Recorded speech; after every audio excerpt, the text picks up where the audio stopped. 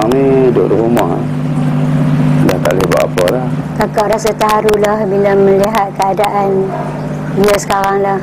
Banyak kawan cakap dia memang laju. Rasa dah tak ada harapan rasa kakak lah.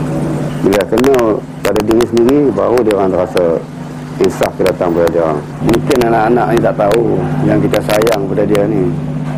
Tunggang dengan cermat ingatlah orang yang tersayang.